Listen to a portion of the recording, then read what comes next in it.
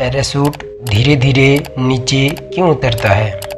चलिए इसके पीछे का कारण जानते हैं। पैरासूट का आविष्कार लगभग उसी समय में हुआ था, जब गुब्बारों के आविष्कार हुआ था।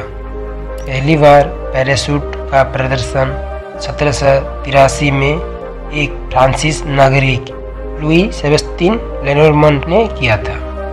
तब से लेकर अब तक पैरासूट के स्वरूप और इसके डिज़ाइन में काफ़ी परिवर्तन आ चुका है।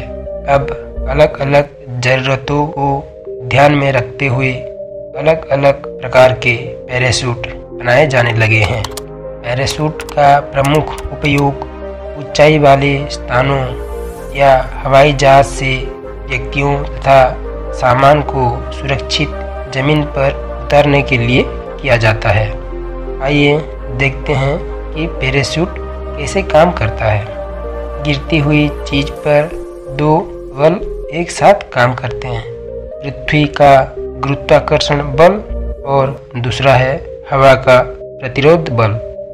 गुरुत्वाकर्षण बल उस वस्तु को तेज़ी से नीचे की तरफ़ खींचता है और हवा का प्रतिरोध बल उसे गिरने से रोकता है।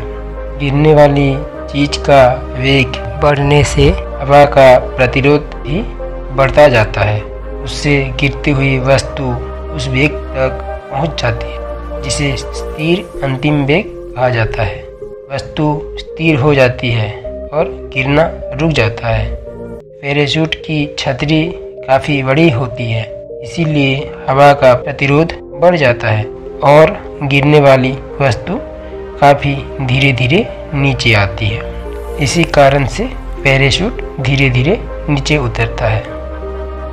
अगर वीडियो अच्छी लगी है तो लाइक कर देना और आप कहाँ से वीडियो देख रहे हो, कमेंट में ज़रूर बताना। ऐसे ही मज़ेदार फैक्ट्स जानने के लिए हमारे चैनल को सब्सक्राइब कर देना और बेल आइकन दबा देना। Thanks for watching